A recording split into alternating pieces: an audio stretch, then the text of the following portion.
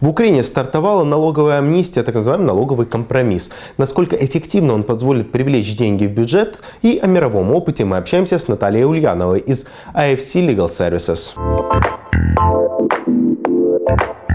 Здравствуйте, Наталья. Как вы оцениваете закон о налоговой амнистии и налоговом компромиссе в Украине и странах СНГ?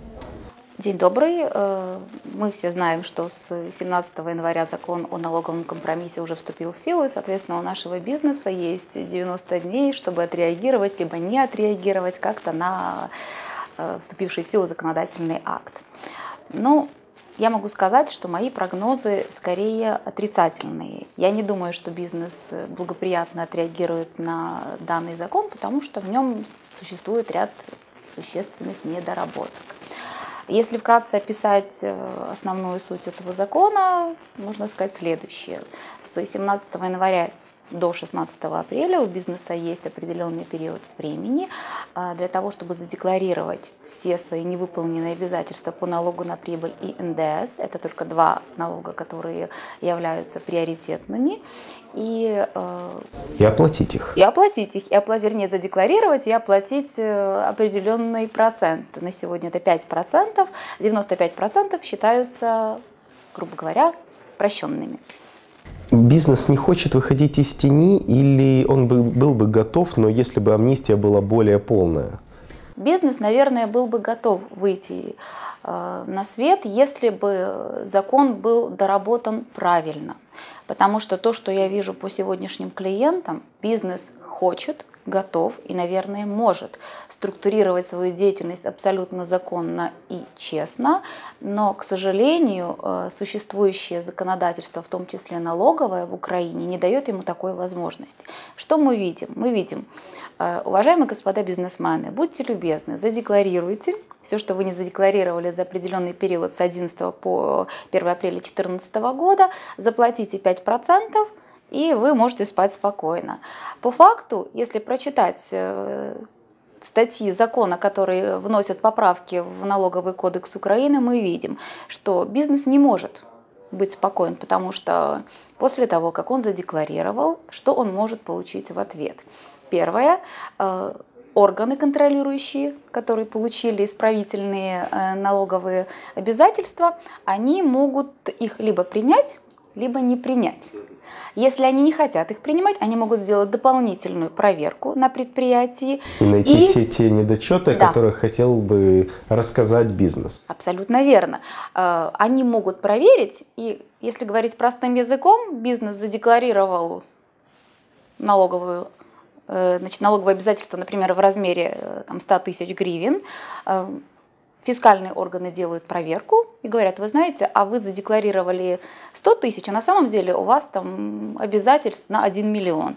И посему налоговая у нас нагрузка вырастает с 5% от 100 тысяч до 5% с 1 миллиона.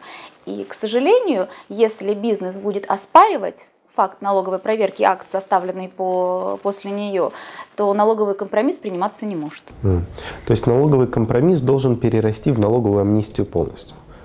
Даже не так. Мне кажется, что если бы вот по аналогии, если не ошибаюсь, вот в Италии у них самый удачный опыт по, налоговому, по налоговой амнистии, потому что по-моему, уже три раза они делали таковую и даже повышали ставку с 2,7%, по-моему, до 5-7%. И, соответственно, вот этот опыт считается правильным. Так вот, в Италии, по-моему, там четко было прописано, что бизнес получает э, в ответ на честное декларирование э, своих доходов. То есть сам механизм, он действенный. Бизнес выходит из тени, платит налоги и в будущем не нарушает законы. Но для этого, кроме самого закона, должны быть и налоги, которые бизнес готов бы был платить. Абсолютно с вами согласна. Вы знаете, первое – это сам механизм. Это то, с чего мы начинаем. Механизм прописан плохо. Он сработал в хороших странах, где налажена система. Он сработал, если не, если не ошибаюсь, в США. Он сработал в Италии, неплохо. И мы видим, что он абсолютно не сработал в Грузии, потому что в Грузии также не было последующей налоговой реформы, которую готов был бы принять бизнес. Э, и бизнес, э, они, по-моему, хотели собрать около 1 миллиарда, собрали до 100 тысяч долларов э, по налоговым обязательствам, то есть совсем мало. При всем том, что в Италии они собрали действительно несколько миллиардов, ну, я могу ошибаться, но, по-моему, такую сумму они собрали. И здесь мы говорим, что, во-первых, если бы бизнес был спокоен и уверен, что задекларировав свои доходы, он, во-первых, мы же подаем исправительную налоговую отчетность, которая тянет и других контрагентов. Эти контрагенты, они могут либо могут захотеть, либо могут не захотеть подавать исправительные проводки, фискальные органы видят, у меня есть один контрагент, у меня есть с ним обязательства, я задекларировал свои э, невыплаченные, скажем так, налоги, а контрагент не идет на налоговый компромисс. И проверка, не понятно, кому Абсолютно пойдет. верно. Здесь мы можем получить письмо счастья для, счастья для контрагента и таким образом в какой-то степени его э, некрасиво, ну, в простонародье говорят, подставить. Здесь мы видим также следующее. После того, как была проведена налоговая проверка, мы можем получить э, абсолютно завышенные налоговые обязательства. Это второе. Третье. Э, бизнес может быть спокоен, том, что налоговый компромисс состоялся в течение 10 дней э, после того, нет, у нас, по-моему, 70 дней после того, как мы подали обязательства, и, соответственно, эм, либо получив подтверждение этого, либо получив факт о том, что будет совершена налоговая проверка. Естественно, что здесь э, без реформы государственного аппарата, который занимается данными действиями, нельзя идти на налоговый компромисс, потому что все прекрасно понимают, что здесь вступает так называемая госпожа коррупция, и бизнес, который работал много-много лет и при предыдущей, и при власти, которая была до этого, он уже знаком с ней, и он не уверен, что коррупционный механизм не сработает. Будут ли пересматривать этот закон? Готов ли бизнес по новым правилам работать? Бизнес готов работать по новым правилам. Я могу вам сказать с абсолютной уверенностью, потому что я уже 15 лет работаю напрямую с бизнесом. И бизнес хочет платить налоги. Бизнес может платить налоги. Я не могу понять одно, почему э, те, кто пишут законодательные акты, не слышат бизнес. Бизнес говорит, например, э, инвестиционный бизнес, мы готовы платить приемлемую налоговую ставку. До этого мы знаем, что по институтам совместного инвестирования у нас был льготный режим 0%. На сегодня они являются плательщиками налога по отдельным видам деятельности, которые являются основными и бюджетообразующими э, на общих основаниях. Инвесторы говорят, мы готовы платить 5-6%, поставьте нам льготную ставку, мы не будем выходить за рамки украинского правового поля, мы будем платить. Я не знаю, почему их не услышали, поставили на общих основаниях, и теперь я предполагаю, что они действительно уйдут на другие фондовые рынки, либо будут заходить сюда с определенным структурированием. Да, тем более, что риски остаются, а условия работы Абсолютно улучшаются. Да. Ваши ожидания, что еще может стоить сделать в законодательном поле для того, чтобы э, в этом году бизнес все-таки заплатил налогов больше, чем в предыдущем и платил дальше. Может увеличить сроки оплаты, что бизнес понял, что есть компромисс, пообщался со своими контрагентами и все, в общем, приняли решение, идти на него или не идти. Если дать больше Хороший времени, вопрос. будет ли результат? Хороший вопрос. Я боюсь, что, наверное, просто увеличение сроков э, налогового компромисса ни к чему не приведет. Абсолютно нет. Здесь надо, как я уже говорила, реформировать э, практически все системы в, в Украине, здесь бизнес должен быть уверен, что после того, как он задекларировал и показал э, весь свой оборот, он может спокойно это делать и в последующие периоды с оптимальной налоговой нагрузкой и без коррупционного элемента.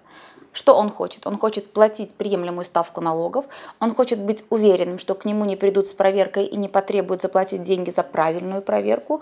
Э, он хочет быть уверен, что с него не будут требовать те налоги, которые он не может заплатить. Потому что в сумме, заплатив высокую ставку налогов, плюс э, решив все вопросы по контролирующим органам, он просто оказывается в минусе. Без этого он не пойдет на компромисс. Есть ли хорошие примеры использования этого механизма в странах СНГ? Вот, в частности, Европу мы вспоминали, Италия, которая проводит уже третий раз. В СНГ проводится ли это или хотят проводить? В СНГ хотят проводить, естественно, под, то, под тем или иным названием все хотят получить какие-то дополнительные деньги в бюджет. В России мы что видим? Мы недавно вступил в силу закон о контролируемых иностранных компаниях. Соответственно, они хотят точно так же получить дополнительные средства по, после декларирования своих доходов в бюджет. Будет это работать или нет, к сожалению, не знаю, потому что в России вообще очень сложная ситуация, там много ограничений, там также не совсем прописан механизм работы, и мы увидим, наверное, в какое-то ближайшее будущее. Что говорить по другим странам? Ну, вот я уже упоминала, что в Грузии, к сожалению, потому что реформа в Грузии на тот момент еще не прошла, и на сегодня мы видим, что она где-то, наверное, либо немножечко произошел откат назад, либо, возможно, будет ее развитие. Но вот на момент налогового компромисса бизнес не был уверен в стабильности завтрашнего дня. Поэтому налоговый компромисс и не состоялся.